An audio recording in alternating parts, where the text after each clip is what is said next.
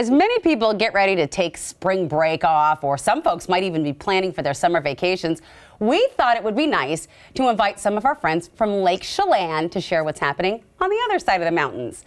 Joining us from the beautiful rolling hills of Siren Song Winery to give us a taste of their wine and also do a little cooking is owner and executive chef Holly Brown. Welcome back to New Day. Thank you so much. I'm so excited to be here. I'm also excited to get ready to go to France. Ah, yes. It's, okay. uh, so we're it's all happening. it's all she's about like literally leaving for France in, within days from now. But I wanted to talk about what we're cooking with today because Yes. we're cooking with herbs de Provence, which I don't really like. I've never loved, so you're going to change Okay. me on that right, one. I'm going to. but tell us why we're cooking with herbs de Provence.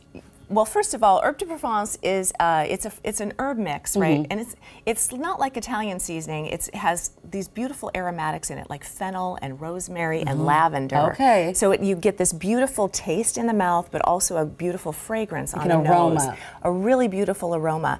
And in fact, you, it's so versatile that you can use it on almost anything. So I use it on roasted potatoes. I use it on base, uh, roasted chicken. I'll do it on salmon from time to time. And then, of course, we're going to use it today to make crostini. Okay. From our beautiful French, French baguette. baguettes. And because of the trip you're taking, that's kind of what you wanted to pair this all with. And who. Yes. who goes on this trip? Are you going by yourself? Like who's going no, on no, this no, trip? no. no. It's a fabulous thing. So about six years ago, my husband and I, my husband's the winemaker at Siren Song, and I'm the executive chef, and we Mm-hmm. just decided we lived in Beaune for quite a while, and we spent a lot of time in France, and France is really the primary inspiration for us for Mm-hmm. Siren Song. It's kind of our Siren Song, and so what we tried to do there is really replicate the kind of bistro life experience that you have in France with the kind of food and wine Mm-hmm. and style and aesthetic and just relaxation, right? Yeah. So, what we've done now is we've started to take wine club members to France, to all of our favorite places in France that have inspired our food and wine.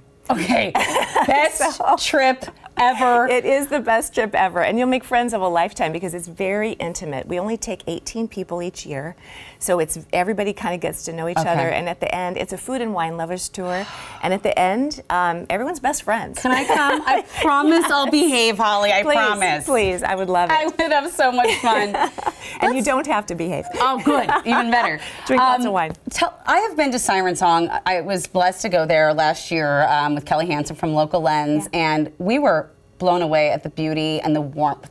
But I would like you to just share it with Siren Song. I mean, what it's like when you go there because it's not just a winery. I mean, it's like world class cuisine, and it's just such a vibe. Well, thank you. So, uh, Siren Song is set on the south shore of Lake Chelan. It's um, just a beautiful place. Uh, it's a seven acre vineyard property. We have an estate vineyard there as well as estate vineyards in other locations in Washington. Um, but it's a restaurant, a winery. I have a cooking school up above the restaurant and Oh, winery. okay. And then we also, it's a uh, place to stay. So, you, we have a villa. Which is like a two-bedroom apartment that you can stay in, Oh, and then we have La Maison La at, Maison. at uh, Siren Song, which is where I have the cooking classes, but it's a destination cooking class um, experience where you can actually stay overnight, and that sleeps about 12 people. It's a five bedroom How home. cool! It's a you can drink all the maison. wine you want, y'all. Right. Well, I'm glad that we had a little extra time for this interview so that I could ask you about all those things because I we don't get to you know have Lake Chelan and, and Eastern Washington on the show enough. So agree. I'm Let's do it. Let's do it.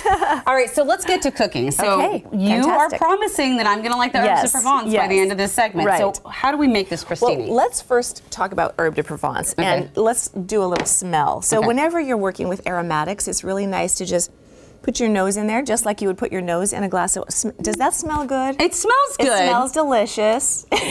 It does smell I'm good. gonna have It to does. really I'm work on you. I'm- yeah, no, it, it does smell good. It smells very fragrant, Right. and, and from a woman who knows all about the nose of a wine, I'm trust that you Right. know what's up. So we're going to come back to this in just a minute, Okay. but this is the beauty. It's all of these wonderful It's- it looks really nice. and it's really it's uh, it has this incredible aromatic. I wish we had smell-o-vision on TV so that you could really smell the pop of the fennel and the lavender, which are the two. You can see the lavender in there. Yeah, those are the pieces that I like the best. All right. So first we got to start with our French baguette.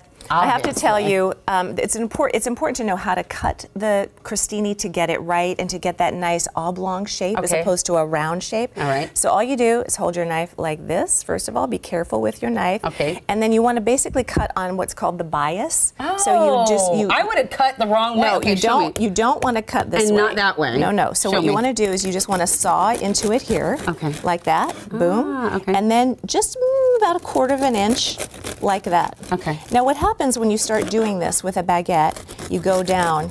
You're going to feel like mm, it's kind of getting thin at the Or the bottom, angle is or the angle is getting weird. So what you do then is, let's get that last one. This is a very. Okay. rustic baguette. Then you turn it over oh. and go this way. Right? Okay, that I have because I've cut crusty, and you know what? This also is this issue. This is also an issue I have with bananas. Oh. You Oh, know when you're trying to cut bananas on the bias. So one of the things you got to do here, because especially with this rustic of a, a baguette, which is lovely, Mm-hmm. and it'll be it'll taste great, super crunchy on the outside. You want to make sure you really cut hard at the So at you're the not bottom. tearing it. So you're not tearing Okay. it. But anyway, what you're trying to get is consistent width, Okay. and then this nice oblong shape, so that when you put things on it, you see the crostini underneath it, like it's almost the frame of the food. Ah, I Right? see. Okay, so Okay. you want it to be a little bit longer than Yes. the food and, and, and showcase yes, it. Exactly I see. Okay. right. Exactly right. So the way we make crostini, and I'm going to give you one of these. I'll show, but you you follow me along. Okay. So we're going to basically paint the bread, and what we want to do is make sure that we get a nice. Um, covering including the edges The not edges. just the middle you don't want any white spots left because when you bake it that's just going to be dry bread right Aha. So Okay. you- So, it's okay to be a little liberal. you want to be liberal. Okay. And the other thing is, um, fat is flavor. So what we're doing here is we're, say. we're adding flavor, Okay. and we're also and we're adding moisture. Okay. So that when we put it in the oven, and Yeah. we're going to do it at 425 degrees for probably about. Okay. Um, if you don't do convection, I would say you're going to do it for maybe eight minutes. If you use convection, maybe five to six. So just be that, careful okay. with that. Okay. So- really nicely, liberally done, right? Okay. Then, now the important stuff. We're going to take an herbed salt. This happens to be a, uh, a fresh herb salt with a few herbs in it as well. Okay. And very lightly, because we don't want saltiness. We didn't paint all of these, but we're just going to, Yeah. we're just, this Okay. is just made for television. Okay. So, one of the things that we're doing, and you're doing it exactly right, is we're raining so good. down. Isn't that beautiful? Raining down. We're raining down. And the reason why we rain down as opposed to dot, dot, dot Yeah. is we have more control of, of the spread. Oh, right? okay. So we're getting even coverage. I see. So we're going to do the same thing With the de your favorite herb de Provence. Okay. And what we're going to do here, what's really important, Yes. is while you're raining down, you're going to squish the herbs in between your fingers Oh. because that releases the essential oils and Oh. the aromatics. It's also Okay. really satisfying to do It this is, as I right? make it rain herbs Amity is raining down. raining down upon you. I love it. Oh, it smells really good with your fingers now too. Right. Okay. So Okay. now, So you're, now- getting, you're getting a sense of what it's going to taste like when you're finished. So when you You're when turning me. taking it all in, You're right? turning me. Okay. So all we need to do is we just bake these off. So that oven is on down there. the other nice thing about these, especially if you're Yeah. Mm-hmm. doing, because all of these are sort of appetizer hors d'oeuvre things, Right. right. What's nice is that you can make these in advance. They can sit at room temperature. You can serve them at room temperature. Right. They don't have to be hot. And you have So- different kinds for each wine. Yes. And I, I wanted to, to, to point that out. Yes. Before we finish that up, I wanted to just point out some of the wines. So this is, So this is the Jolie. This is a Bordeaux blend, Mm-hmm. and it's going to go with a salmon, cream cheese, a little bit of oh, nice, nice, nice, nice. I like to start drinking and eating early. I do, I do. It's never too early. All right, so, uh, so good. All right, we try it out. So when you when you taste wine, what Mm-hmm. you want to do is you want to put your nose in it, give it a nice. Mm. So that your olfactory Mm-hmm. takes in the aromas, the flavors, and everything. Because actually, we taste as much with our our nose as we do with our mouth. So then you taste. Swish it around so it gets Oh, that's all good. around. It has a really nice fruity flavor. It does. Nice mouthfeel, light, it- light acidity. Pairs so well with Goes the, great. The, the salmon and, and the cheese. Yep. And the salmon's a little bit rich, and the cheese is a little bit rich as well, so it cuts right through that. All right. So that's a Bordeaux blend. That's called And then let's Jolie. pair this one. So this one is a uh, Cab Franc, and this is actually from our estate vineyards in the Rocks District AVA, which is a beautiful uh, vineyard. It's a beautiful AVA, and it is very similar to Chateauneuf de Pape in France. Very similar terroir. Okay, I- oh, that's good. much richer.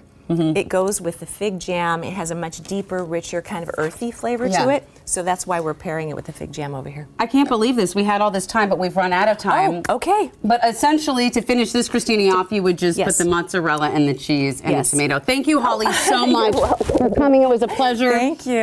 And thank you for spending time with us today. You can check our website for more content. You can always send us an email to share your thoughts, but most important, get out there and enjoy your new day. We'll see you next time.